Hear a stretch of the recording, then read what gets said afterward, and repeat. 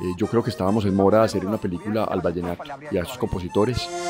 El vallenato va buscando el universo, aunque no sea de la forma como nació. Bueno, Leyenda Viva nace como un homenaje a los compositores de la música colombiana, es un homenaje a nuestra música colombiana. El vallenato soy la música de Colombia y qué mejor manera de hacer un homenaje que con una película. Yo creo que Colombia le debía una película a estos compositores y le debíamos una película al folclore vallenato, a la música de Colombia. Eh, esto nace también de aprender qué es el vallenato. Hace años tuvimos un viaje, un paseo por la región vallenata en el que nos enamoramos del vallenato, eh, por lo que el vallenato representa, por sus orígenes, eh, y queríamos llevarle a Colombia eh, ese aprendizaje que tuvimos nosotros. Salimos en cine esta semana, el 21 de julio.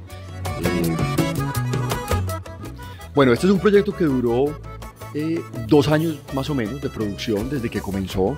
Sin embargo, eso se gestó hace cuatro años eh, que comenzamos a pensar en el tema. Pero realmente de trabajo fueron los dos últimos años, dos años, una investigación muy larga y muy profunda, una investigación de archivo, de documentación y por supuesto la columna vertebral, una serie de entrevistas a los compositores, a los hacedores de la música vallenata. Acá tenemos más de 20 representantes del vallenato, más de 20 lo que se llama juglares eh, y los hemos denominado la Selección Colombia del Vallenato. Son ellos quienes nos cuentan su historia. Acá no tenemos un narrador, no tenemos una voz que nos cuente una historia, no. Son los mismos protagonistas quienes nos cuentan sobre su historia y quienes nos cantan sus canciones. Eh, esto es un homenaje a los compositores vallenatos. La cultura es uno de los grandes tesoros que tiene Colombia, la música. Colombia es hoy, sin duda, una potencia mundial en música. solo mirar los artistas internacionales y ver lo que, lo, lo, que, lo que representa Colombia en la música del mundo hoy. Y el vallenato tiene un impacto enorme sobre la música colombiana actual, sobre la música latinoamericana, y eso es lo que queremos mostrar en la película. Ahora, el vallenato, eh, un folclore tan regional que nació en el Valle de Upar, entre la Sierra, la Sierra Nevada, la Sierra Nevada de Santa Marta y la Serenidad del Perijá hasta la Alta Guajira, pues ya trascendió y ya cruzó fronteras y atravesó los ríos y los valles y las montañas eh, y se volvió la música de Colombia. Hoy el vallenato es la música eh, de Colombia totalmente y, por eso pues eh, para los colombianos es tan especial este documental y yo creo que lo van a disfrutar mucho en los cines.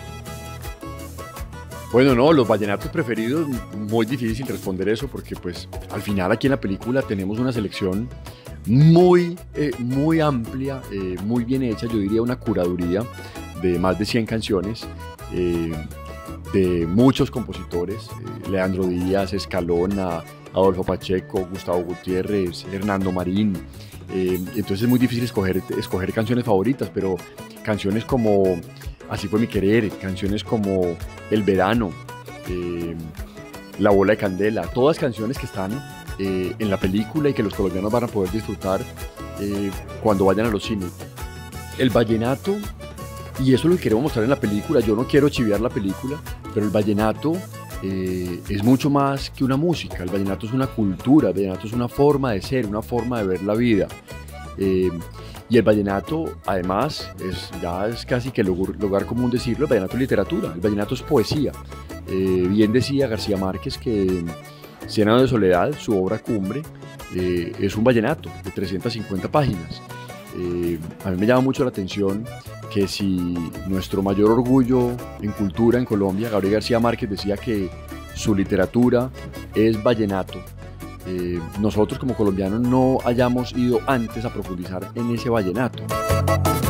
Esto es una invitación a todos los lectores y suscriptores del periódico El Tiempo eh, a que vayan a los teatros a partir del jueves 21 de julio.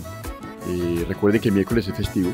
Vayan a partir del jueves eh, a ver la película, disfrutarla, cantarla, recordar, a reírse. Es una película que tiene muchas emociones, que viene del corazón vayan y disfrútenla, vayan a los teatros, vuelvan a los cines después de la pandemia y, y enamórense del vallenato conociéndolo.